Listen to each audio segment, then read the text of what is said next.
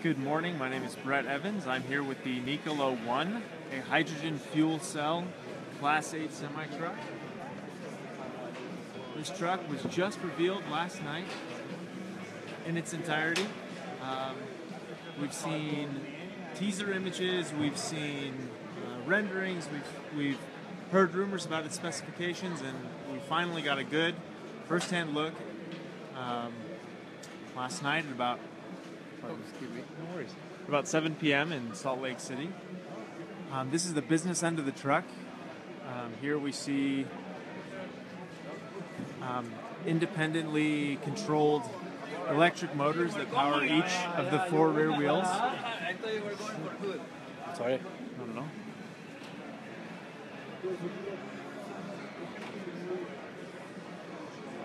We learned some, some things about this truck today in an engineering meeting.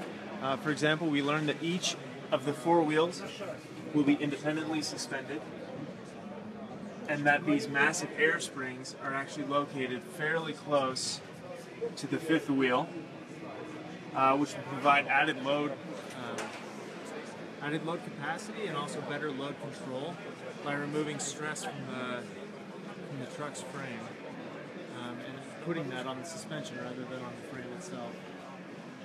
Again, each four, each one of these wheels has uh, its own electric motor, which will uh, give the truck torque vectoring capability for better control in in poor weather and in um, on curvy roads. Um, should provide better uh, better stability in those kinds of conditions.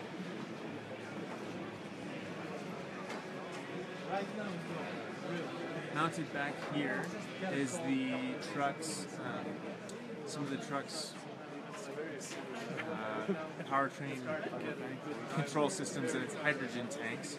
As uh, as we learned uh, a couple of months ago, this truck is a hydrogen-powered um, vehicle, um, hydrogen fuel cell. So that means the hydrogen uh, hydrogen cells will generate electric power and send it to those electric motors.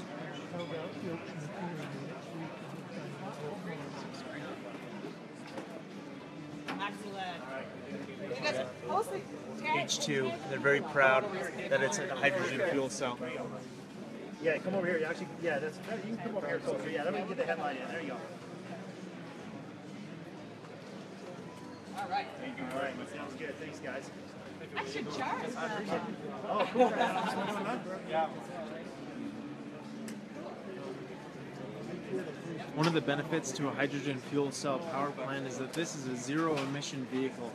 The only emission, um, the only emissions this vehicle will make are uh, water vapor um, from combining the hydrogen and the oxygen. So um, as this thing is driving down the road, the only thing it will be emitting is um, is water, which obviously is a definite boon for um, for definite boon for the uh, environment and also for um, some of those environmental restrictions that um, this this industry in particular has, has seen in the last few years. Um, another benefit to the hydrogen electric powertrain is instant torque. Um, you know, even with uh, as, as torque heavy as diesel engines are, nothing can really beat a um, an electric motor in terms of instant torque. So this vehicle will provide all 2,000 pound, foot-pounds of torque from zero RPM. Good for both throttle response and for um, for powering up steep grades.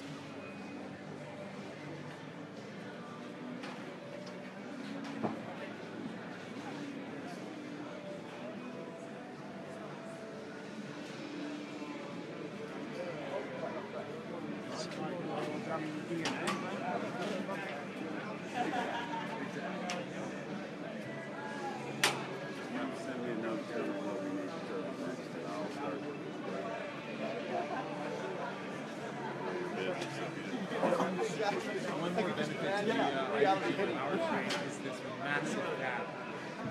With most of the fuel cells and hydrogen control um, devices mounted behind the cab and down low in the frame, that opens up this massive space for uh, for the cabin.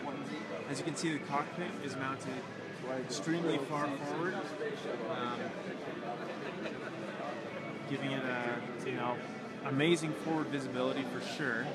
You know, there's no there's no doghouse to look over, and so you get great view of the road ahead. But in addition to that, you also get tons of space. You know, with the cockpit mounted so far forward, all of this space behind the truck can be used as you know for the sleeper.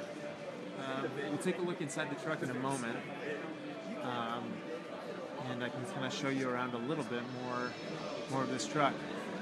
Um, you know, it's definitely definitely a very futuristic design, very unconventional, um, and uh, very aerodynamic and sleek. Whether the market will be receptive to such design remains to be seen, but we were talking to a few logistics experts who were in attendance at this launch, and they all seem excited about the prospect of zero. I think there's about 2% of my good torque and good power. It's really a pretty, pretty impressive concept.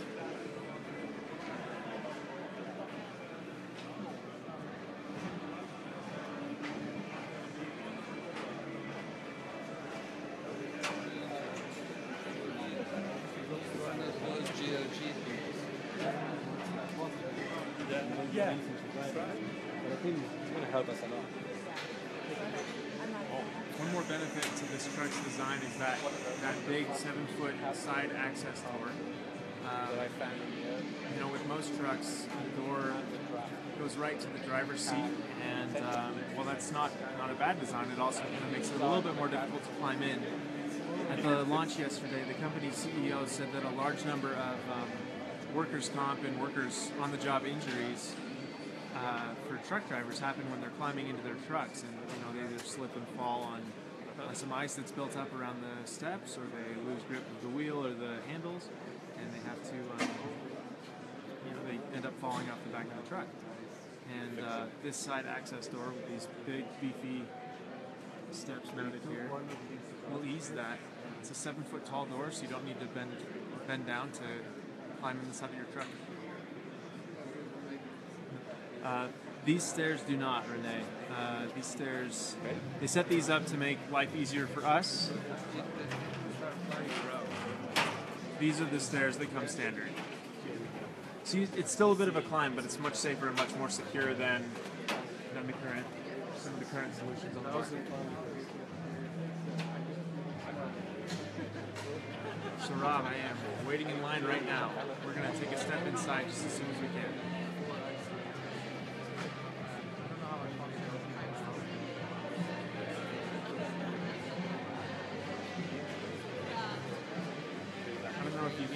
But a lot of the truck is made from carbon fiber. Those mirrors, the mirror, uh, the mirror arms are made from carbon fiber. And uh, much of the truck is made from advanced materials, which um, help it help it reduce weight, improve efficiency, and, uh, and and so on. It's a little bit difficult to um, evaluate since this is a hydrogen-fired truck, and many of the trucks on the market today are diesel-fired. But um, using a pretty complex formula they showed yesterday, um, um, Nikola claims that this truck is twice as efficient as a traditional diesel semi.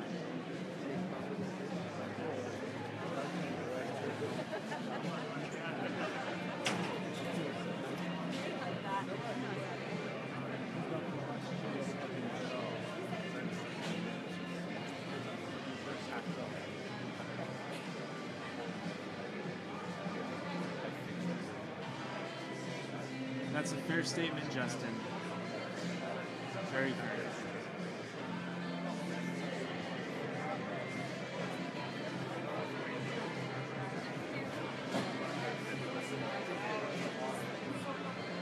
James, I'm waiting in line right now, I'm gonna jump in just as soon as I can. I saw it last night. It's it's uh, pretty cool.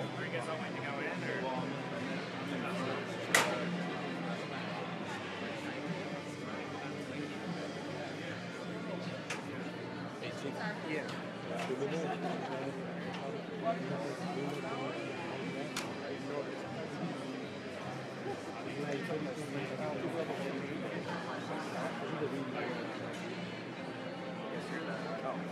lot of people excited about this track.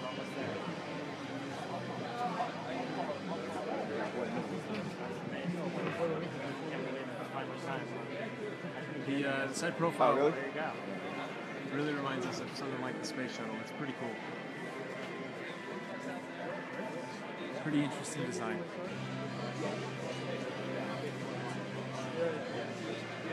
Yeah, just that, that extreme cab forward design makes makes for really good visibility. Uh, Josh, uh, thank you uh, thank you for asking. Driving range on this truck is projected to be between 800 and 1200 miles.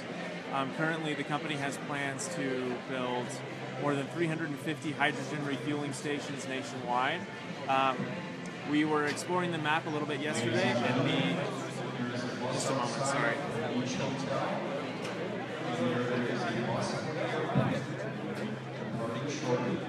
Thank you very much for coming. Sorry about that. Um, we were playing with the tool yesterday, and it looks like the the biggest distance between fueling stations goes between um, Calgary, Alberta, Canada, and Winnipeg, Canada, and that distance is about 800 miles. It's uh, right at the lower lower end of the driving range for the truck, so you should be able to get just about anywhere uh, within um, the United States and the the southern um, southern part of Canada um, using the 800 to 1200 mile range of this truck. We're going to step inside right now.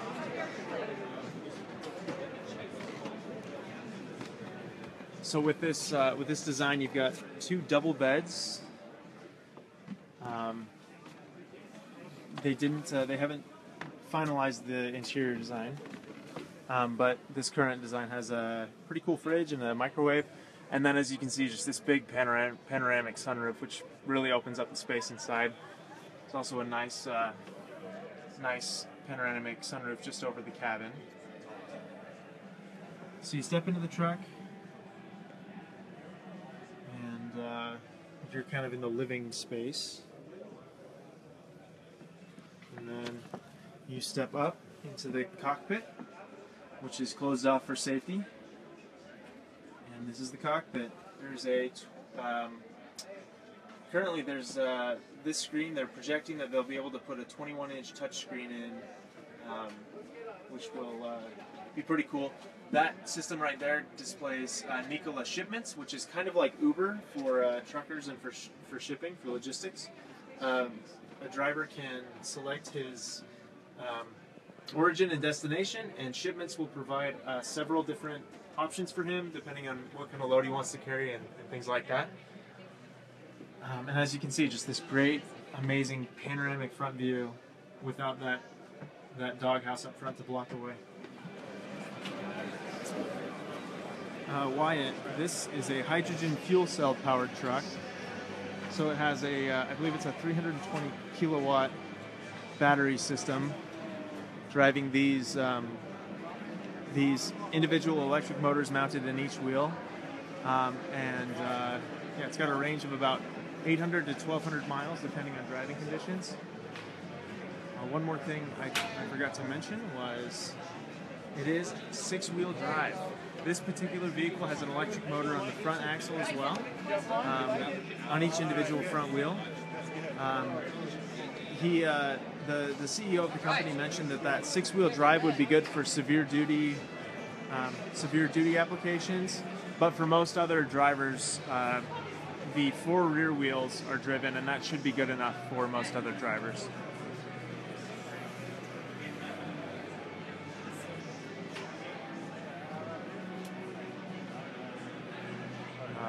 Jesse, I will have to double check, but I'm fairly certain the maximum payload is 60,000 pounds, I think is what we heard yesterday, but I will double check and let you know.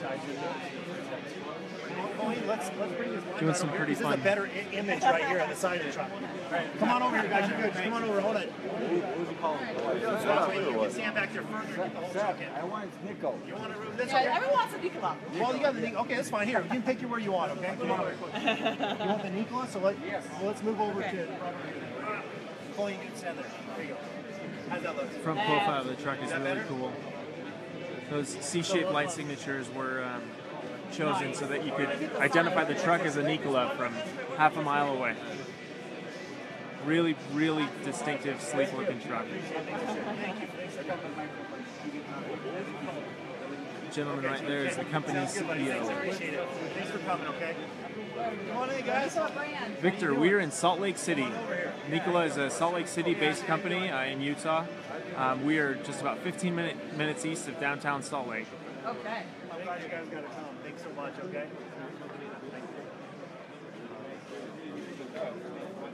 Okay, yeah, hey, come over, man. How you doing? Yeah, good.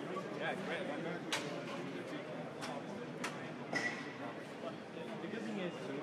Once tried to you guys Perfect, I once appreciate You guys have any uh, any other questions about the truck that I can maybe answer? Okay, fine. Okay, come over. There you go. You got it going?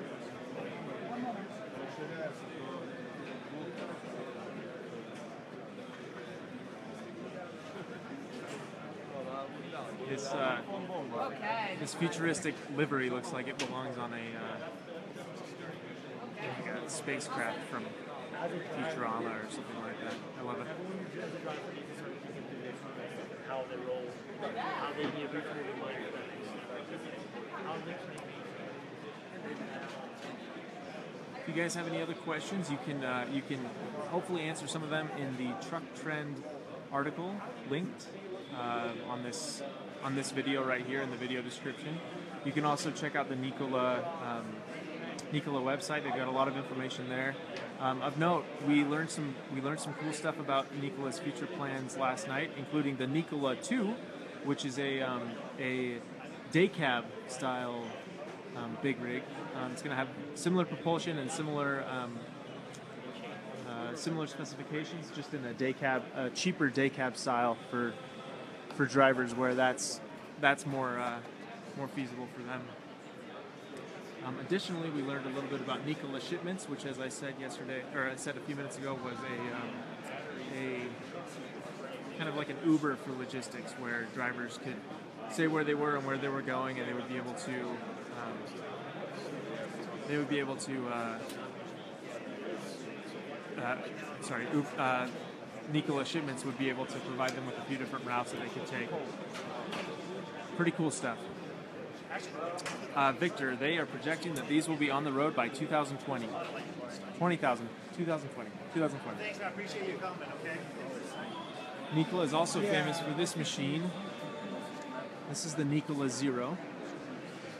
It's a 500 horsepower all electric UTV. This thing's pretty, pretty unreal. Can't wait to get behind the wheel of one of those. But yeah, for now this is this is the Nikola One.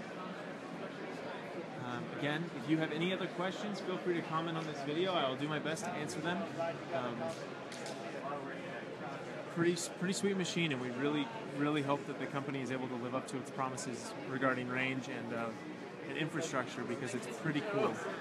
Um, it's going to lease for about five thousand to seven thousand dollars a month, and that will include a seven-year, one million mile warranty and one million miles of free hydrogen. One million miles worth of free hydrogen. So it's it's a pretty aggressive pricing, and, and it could be a good value for a lot of um, a lot of truck drivers.